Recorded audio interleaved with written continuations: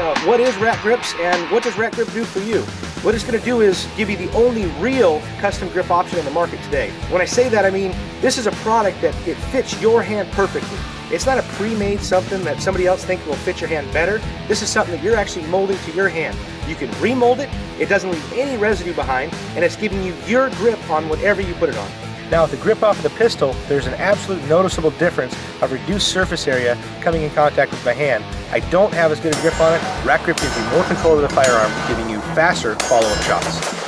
I took a subcompact pistol, which is great for carry, but not so great for shooting, and made it great for carry and great for shooting by increasing my grip surface area and giving my perfect impression onto this pistol. Uh, what I did is I actually did a three-quarter wrap. I didn't go all the way around the pistol, I just did it wherever my hand would come into contact with it.